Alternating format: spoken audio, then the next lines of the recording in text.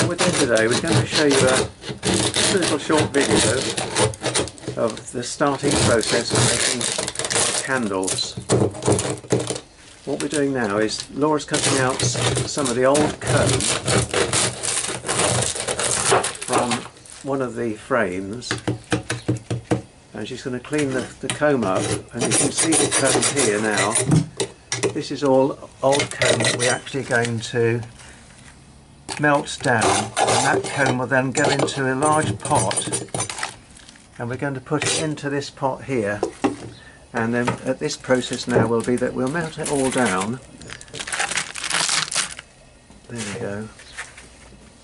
And that now will be, is in water. And that will be melted down. To the first process of making our candles it's a long process takes a, quite a while to do and we'll be melting down uh, a lot more wax from spent bees um, hives that we've got in the garden. This is our process for this week